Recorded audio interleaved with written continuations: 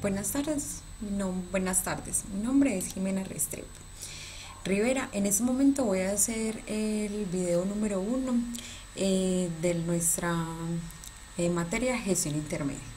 Bueno, este video número uno es como para, es para hacer una contextualización de lo que es la contabilidad de gestión comparada con la gestión financiera, con la contabilidad financiera y con la contabilidad tributaria. La idea es como llevarnos una mm, leve impresión de lo que es la contabilidad de gestión y empezar a contextualizarnos. Entonces me voy a basar en estas diapositivas para empezar a hacerles como la explicación. Em,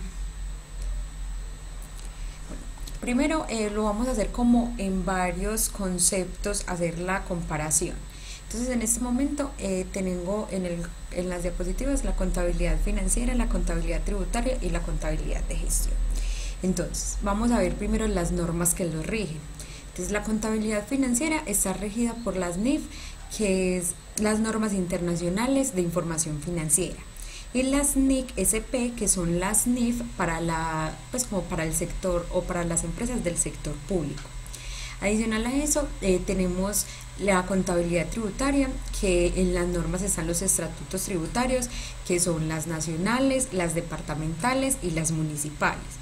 Que las nacionales son pues los estatutos tributarios eh, de ley que nos da el Congreso, los departamentales son los que nos dan las asambleas, que son las ordenanzas, y los municipales, que son los acuerdos que hacen los consejos municipales. Y en la contabilidad de gestión, pues no hay una forma, no hay una norma existente que nos brinde obligatoriedad, sino que es opcional, pero no va, pero es una contabilidad pues como, es como la que abarca todos lo, los demás. Entonces, así no haya una norma que exija pues como tener esta contabilidad, es muy importante llevarla.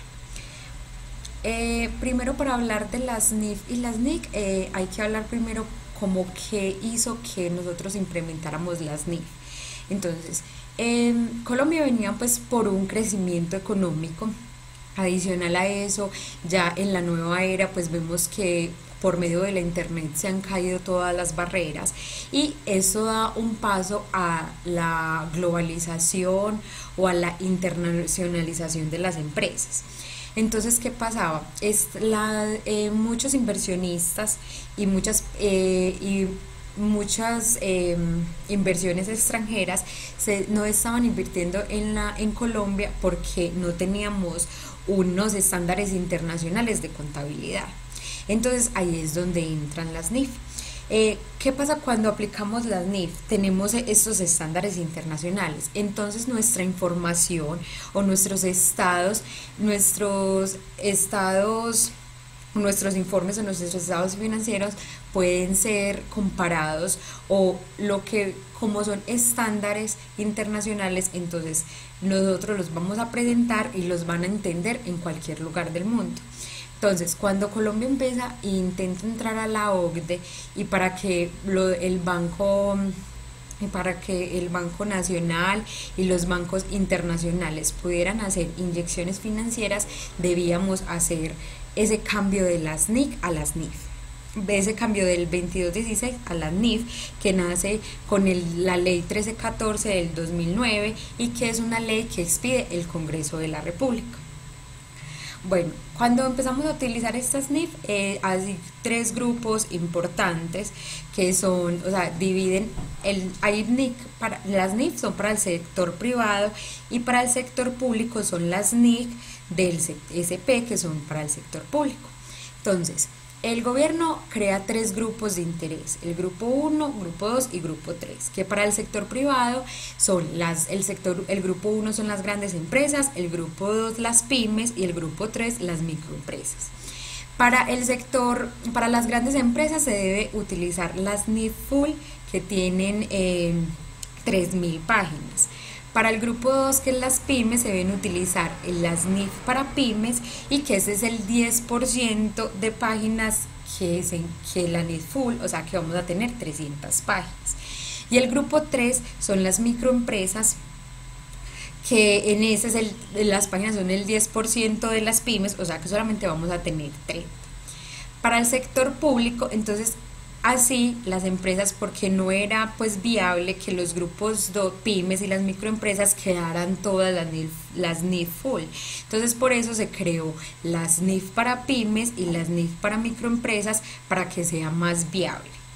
Además, en el sector público tenemos, también están divididos en tres grupos, eh, las grandes empresas públicas también, que en este momento tenemos, por ejemplo, Ecopetrol, EPM, que a pesar de que están regidas por la Contaduría General de la Nación, también tienen que cumplir con estos estándares internacionales, porque en la Constitución decía que estas grandes empresas del sector público estaban creadas por, o sea, que solamente la Contaduría General de la Nación eran las que expedían las reglas, lo que le daba pues como pie o libertad al, al contador general de la República. Pero ¿qué pasa? Que ellos también tienen que cumplir con los estándares internacionales, entonces ahí es donde también empiezan a usar las NIC, a basarse en las NIC SP para el sector público. Entonces, están también divididas en tres grupos. El grupo 1, que son las grandes empresas públicas. El grupo 2, que son las, las pymes, que también son públicas, que en ese pues que son como más pequeñas empresas. Un ejemplo claro es, eh, por ejemplo, Teleantioquia. O, y en el grupo 3 ya sí están las empresas del gobierno, que esas sí tienen estándares diferentes, porque ellas no ofrecen ningún eh, servicio, sino que son empresas que, que hacen, pues que, que solamente prestan servicios, pero no como un, sino del mismo estado y que recaudan es como impuestos para poder pues para poder eh, financiarse, como por ejemplo los, los municipios, o sea, como se, por ejemplo el municipio de Cañas Gordas, entonces es ahí, en esas, esas empresas del gobierno sí tienen como unas leyes y unas diferentes a las, a las que son utilizados en las de eh, servicios. Bueno, en los estatutos tributarios pues tenemos eh, en la contabilidad tributaria tenemos estatutos tributarios nacionales que, por ejemplo, nos dicen que debemos pagar la renta, que debemos pagar el IVA. En los estatutos tributarios departamentales tenemos el impuesto a los vehículos y en los municipales tenemos, por ejemplo, el ICA y el impuesto predial. La contabilidad de gestión, pues como les dije, no existe una obligatoriedad de normas, pero es muy importante y más que todo esencial llevarlo, porque la contabilidad de gestión es la que le agrega el valor a, la, a las empresas. Bueno, por aquí continuamos. Eh, ya, los objetivos de la, vamos a mirar los objetivos. Entonces, los objetivos de la contabilidad financiera es informar, informar de rentabilidad, liquidez y solidez evaluar la gestión administrativa, rendición de cuentas y control. Entonces necesitamos tener una buena información para poder saber eh, la contabilidad, bueno, los grupos de interés, todas las contabilidades eh, van, eh, el cliente más importante son los inversionistas. ¿Por qué? Porque ellos son los que van a invertir el dinero para poder que las empresas funcionen. Entonces, al informar, tenemos que informarle la rentabilidad, la liquidez y la solidez. Tenemos que evaluar la gestión administrativa de los gerentes y el grupo administrativo porque ellos son los que le están dando uso a nuestro porque ellos son los que le están dando el uso a nuestro dinero. Además, eh, la rendición de cuentas pues para saber que haya un buen uso de los recursos y controlar pues todas las áreas. La contabilidad tributaria se encarga de recaudar, los objetivos es recaudar todos los impuestos que dijimos anteriormente, los nacionales, los departamentales y los municipales. Y la contabilidad de gestión, el objetivo principal es generar valor a la organización por pues por medio de los diferentes entes que colaboran en la organización. Ahora, eh, los informes. En la contabilidad financiera tenemos eh, los estados financieros, el estado de resultados que ahora se llama el estado de resultados integrales, el balance general que ahora también se puede llamar el, estado de la situación financiera, los flujos de efectivo y el cambios en el patrimonio. En los informes, por ejemplo, en la contabilidad tributaria, entonces tenemos declaración, las declaraciones, los medios magnéticos, los formularios que debemos llenar para poder hacer las declaraciones.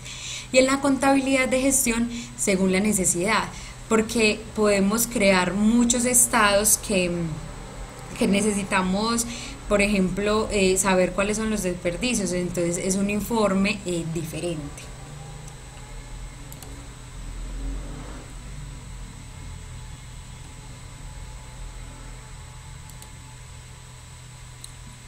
Los usuarios. Entonces en la contabilidad tenemos eh, usuarios externos, principalmente uno de los usuarios son los inversionistas porque sabemos que toda esa información va hacia ellos. Todos necesitamos que la empresa se vea que es una empresa rentable para poder que vengan a invertir, ¿cierto? La contabilidad tributaria, pues el usuario principal es el Estado porque es a ellos a los que se les está dando el porcentaje de la utilidad de la empresa y la contabilidad de gestión son los internos. ¿Por qué la contabilidad de gestión es los internos? Porque es de allí, desde dentro de la organización, que se le puede empezar a agregar valor a las diferentes áreas. Y es allí donde más se puede, o sea, donde esa información es más importante. La contabilidad financiera Ahora el enfoque. Eh, en la contabilidad financiera es el enfoque, el enfoque global, pues porque solamente, o sea, si se hace, si se informa de rentabilidad y liquidez es en, en forma global de toda la empresa. Si hablamos de contabilidad tributaria, también es un enfoque global porque no pagamos, por ejemplo, en el ejemplo que tengo ahí, una empresa que tiene línea de ropa y línea de zapatos. Entonces no vamos a decir en la contabilidad tributaria que la línea de ropa eh, entonces eh, paga impuestos aparte que la línea de zapatos o que el estado de resultados lo vamos a hacer solamente de la línea de ropa y de la línea de zapatos. No. Pero en cambio en la contabilidad de gestión sí puede ser global y segmentada. ¿Por qué? Porque si yo tengo que la línea de ropa me aporta una ganancia de mil, pero que la línea de zapatos me aporta una pérdida de 800, yo no voy a pagar, no voy a pagar impuestos por la línea de zapatos y pues y si pago impuestos, no, pago impuestos de los 200 en general. Lo mismo que la contabilidad financiera, me va a dar solamente una ganancia de 200 porque es global. En cambio, en la contabilidad de gestión lo puedo ver segmentado. Sé que lo que me está dando pérdidas es la, en la línea de zapatos y por ende yo voy a poder ir a mirar qué es lo que estoy haciendo mal en la línea de zapatos que me está aportando pérdida o mirar qué es lo que está haciendo la línea de ropa que sí le está dando mucha ganancia y poder hacer cambios importantes en la empresa.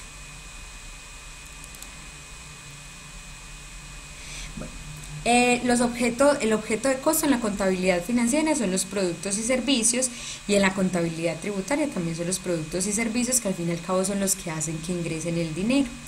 Pero en la contabilidad de gestión es importante costear no solamente los productos y servicios, sino aprender a costear, por ejemplo, em, aprender a costear el nombre, el buen nombre, en qué posición se encuentra la empresa, aprender a costear eh, los desperdicios que sabemos que nos llevan, que se llevan, que ya no se pueden contabilizar como un mayor valor del, del producto o el servicio que estamos creando, sino que se debe llevar al gasto. Entonces por eso es estratégico costear no solo el producto o servicio, sino muchas cosas más que se abarcan en la empresa.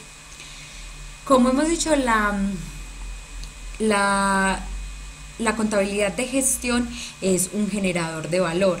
¿Qué, qué hace este, este generador de valor? ¿O cómo genera?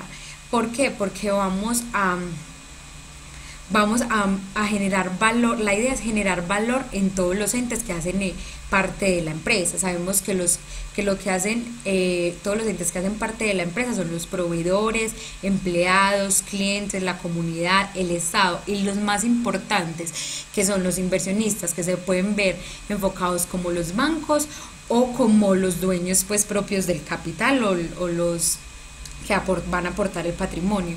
Entonces, al generar, lo que buscamos de generar valor es darles a ellos lo mínimo que esperan a todos estos entes y más. Entonces, que los empleados no solamente tengan un salario eh, el salario, sino que también se sientan que son, pues que son bien tratados, que en ese momento ya estamos hablando de salarios que ya estamos hablando de salarios emocionales, que los clientes no se queden solamente con la venta, sino que quieran más. Entonces no solamente llega el valor, el generar valor es no solamente darles lo que ellos esperan, sino llega como mínimo darles lo que ellos esperan y más. Eh, adicional a eso tenemos un concepto del valor agregado, del valor eh, económico agregado. Es que, por ejemplo, si yo a mi inversionista le dije que él va a invertir, que él va a invertir 100 millones de pesos y que yo le voy a dar 120 millones de pesos. Pero resulta que cuando yo eh, al final mis ganancias fueron de 140 millones de pesos.